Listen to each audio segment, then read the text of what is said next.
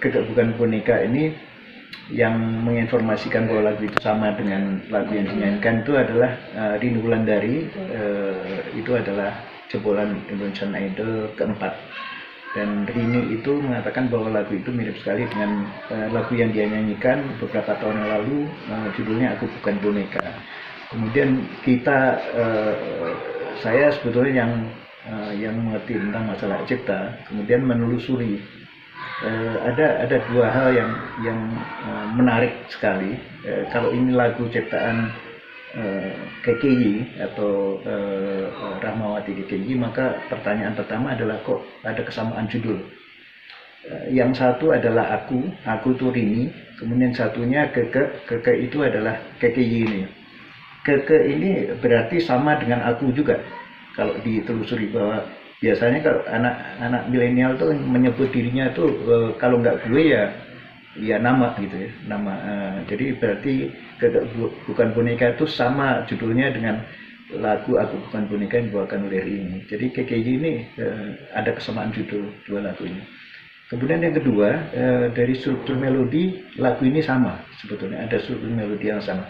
Aransemen yang berbeda jadi aransemen itu uh, adalah tambahan-tambahan dalam uh, dalam beberapa bentuk uh, apa pola pembuatan lagu itu ada ada yang namanya aransemen.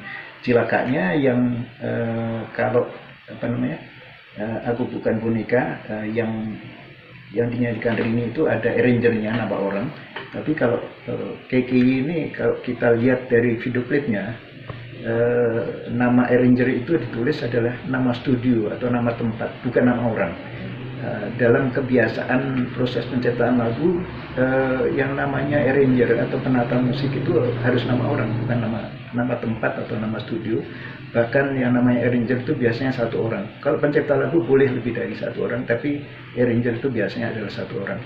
Nah, itu yang kedua. Berikutnya yang tidak kalah penting adalah uh, apa dari struktur uh, uh, pola menyanyinya itu uh, juga sama. Artinya uh, kalau waktu itu ada Rini sempat bersenandung lagunya Keke atau lagunya dia, maka dua lagu ini sama disenandungkan itu bisa sama. Itu artinya ada kesamaan dua lagu itu. Pada saat itulah sebetulnya ada satu pelanggaran hak cipta menurut Undang-Undang Hak Cipta nomor 28 tahun 2014 Eh, eh, lebih khusus lagi di pasal 113 eh, apabila ada kesamaan ini kan sebetulnya harus ditelusuri siapa yang mengambil karya orang lain itu dan itu hukumannya cukup berat sebetulnya. Antara 1 sampai dengan 10 tahun dan kemudian juga ancaman hukumannya antara 100 juta sampai dengan 4 miliar. Ini kalau di Undang-Undang Cipta nomor 28 tahun 2014 dengan demikian sebetulnya kita harus telusuri lagu nah, antara dua lagu ini dulu uh, uh, kesimpulannya sebetulnya uh, uh, salah satu pihak itu harus harus ada ada apa melaporkan ke pihak yang berwajib karena uh, spirit dari Undang-Undang Cipta Nomor 28 Tahun 2019 itu adalah delik aduan. Jadi kalau nggak diaduin, maka pada saat itu sebetulnya eh, polisi tidak bisa turun tangan. Jadi mesti diadukan karena ada aduan di Undang-Undang Cipta. E, untuk itu ada pertanyaan berikutnya. Kenapa yang berteriak duluan adalah Rini? Rini punya hak untuk untuk melaporkan itu atau atau mengklarifikasi soalnya dia adalah bagian dari e, dari proses kreatif e, pencipta lagu itu sendiri. Dia penyanyi. Penyanyi itu adalah hak terkait di Undang-Undang Cipta. Jadi jadi eh, ada pertanyaan kenapa mesti Rini yang teriak bukan pencipta lagunya? Karena Rini punya hak juga karena dia hak terkait dalam undang-undang hak cipta eh, nomor 28 2014 kayak gitu kira-kira. Oke. Tapi uh, secara keseluruhan kan uh, walaupun ada persamaan menurut uh, Mas Ulya sendiri seperti apa sih untuk lagunya sendiri kan uh, banyak yang aku baca ya beberapa hmm. Yang sama itu hanya bagian yang aku bukan boneka tapi untuk lirik keseluruhan kan yeah. Ya. uh, berbeda nah yeah. pandangan mas justru, seperti apa justru kesalahannya adalah uh, apa namanya uh, ini dari awal kan ngotot bahwa itu lagu ciptaan dia eh, tatkala diklarifikasi bahwa ini ada kesamaan pada melodi lagu hanya aransemen yang berbeda, dia tetap ngotot kalau penciptaannya. Ternyata yang beda liriknya. Eh, eh, dia tidak seizin penciptanya pada saat menggarap lagu ini. Eh, kalau kalau klarifikasinya kayak gitu. Penggantian lirik itu lebih berat lagi sebetulnya. Karena eh, sudah mengambil karya orang lain, katakanlah seperti itu, kemudian merubah liriknya tanpa seizin penciptanya. Eh, penciptanya dalam ini Mas Umar ya kalau saya namanya, novel Novi Umar. Novi Umar ya. Nah, eh, eh, dengan begitu sebetulnya ini agak lebih berat nih pelanggaran ini sebetulnya. Kenapa tadi saya, sebutkan antara 1 sampai dengan 10 tahun, semakin ada kesalahan-kesalahan yang berat itu makin makin di, ditata lagi nih. Eh, apakah satu tahun, apa dua tahun, ada yang empat tahun juga, terus ada yang eh, lima tahun, ada yang 10 tahun, yang paling berat 10 tahun. Tapi itu hukumannya terberat. Ya, mudah-mudahan sih nggak terjadi ya. Kalau saya, saya sih katakan bahwa eh, seharusnya ini di, di apa, diklarifikasi secara jelas gitu. Soalnya penata musik dari Gagak Bukan Boneka itu nggak pernah muncul. Iya, betul. Ya, sama sekali nggak pernah muncul. Dan saya kok curiga jangan-jangan ini, ini memang disengaja sedemikian rupa karena eh, KKY ini sudah menjadi eh, apa youtuber dengan followers yang banyak dengan eh, lagu ini punya viewers yang sampai 18 juta waktu belum di take down oleh eh, oleh YouTube waktu itu dengan demikian eh, dia kelihatannya memang sengaja ini diulur-ulur waktu kalau saya sih eh, pencipta lagu dari aku bukan boneka maupun Rini maupun produsernya Sony Music eh, ambil anu ya, ambil peran yang lebih bagus saja sehingga eh, tidak berlarut-larut sebetulnya. Oke, Eh, kan sempat di take down oleh pihak YouTube. Apakah itu tindakan yang tepat atau seperti apa sih? Tepat. Eh, seperti kita tahu YouTube ini kan perusahaan internasional, bukan perusahaan Indonesia. Memang ada yang namanya YouTube Indonesia karena dia berada di Indonesia eh, apa, bekerjanya. Tapi pada saat ada kasus seperti ini, eh, eh, YouTube itu pasti akan melakukan klarifikasi, me- apa, me- menginginkan agar ada kejelasan bahwa ini lagu ciptaan siapa dan jangan sampai nanti dia membayar pada orang yang salah dan eh, ada satu kebiasaan juga YouTube yang melakukan apa namanya pembayaran royalti itu apabila masih ada kasus eh, lagu itu tidak di take down dulu di, di apa di eh, dibiarkan dulu sampai eh, apa viewersnya banyak eh, tapi eh, tidak dibayarkan dari angka sekian sampai angka sekian. Itu juga bisa dilakukan. Eh, tinggal kita klarifikasi pada pada ya apakah eh, selama kasus ini mulai berjalan kira-kira seminggu yang lalu itu eh, eh, kasus yang dianggap pelanggaran hak cipta itu eh, sudah terbayar belum eh, angka sekian juta itu.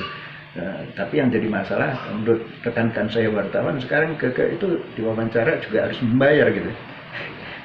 Karena dia sudah menjadi youtuber Ya. dengan eh, nilai bayaran. Dan eh, tadi eh, hari ini saya nonton apa namanya eh, apa sebuah program acara di stasiun televisi itu sudah sudah mulai menayangkan sesuatu yang sebetulnya ini menyebabkan dia akan naik lagi namanya.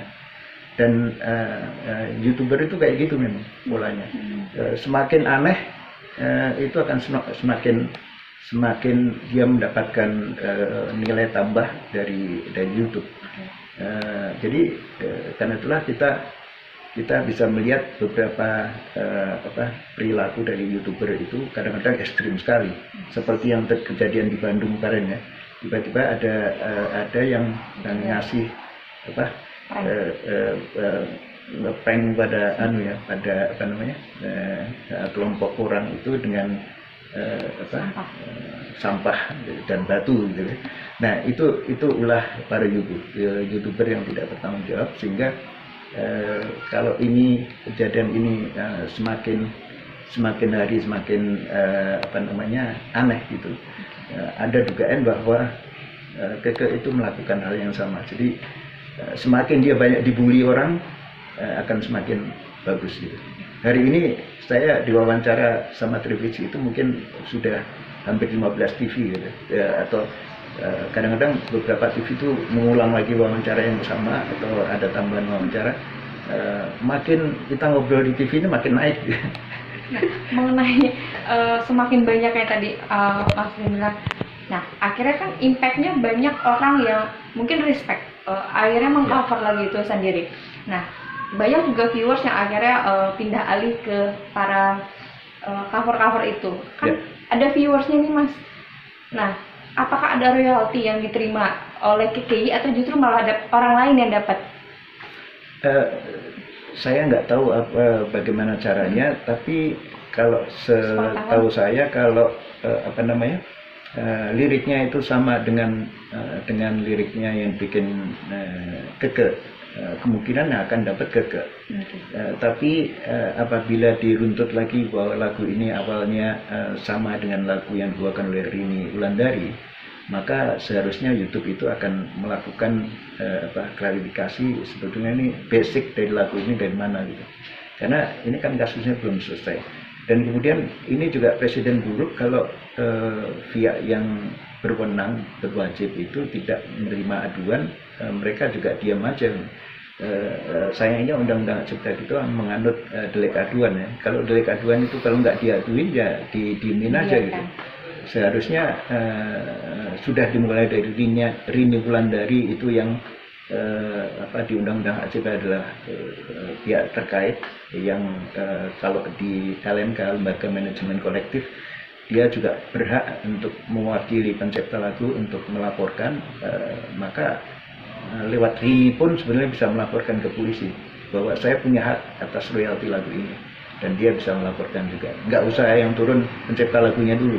Rini dan ya Rini pun bisa karena dia punya hak atas royalti lagu lagu aku bukan eh, bukan boneka yang sama eh, bisa kita anggap sama dengan lagu eh, Keke bukan boneka dengan demikian sebetulnya eh, jangan jangan diper, eh, eh, diperpanjang sebetulnya karena eh, ini sudah melewati proses satu minggu dan sudah sempat take down oleh YouTube kemudian dijalani kembali sehingga jangan-jangan sa- sampai hari ini kita wawancara udah menembus 20 juta nih jangan-jangan gitu Ya, benar-benar.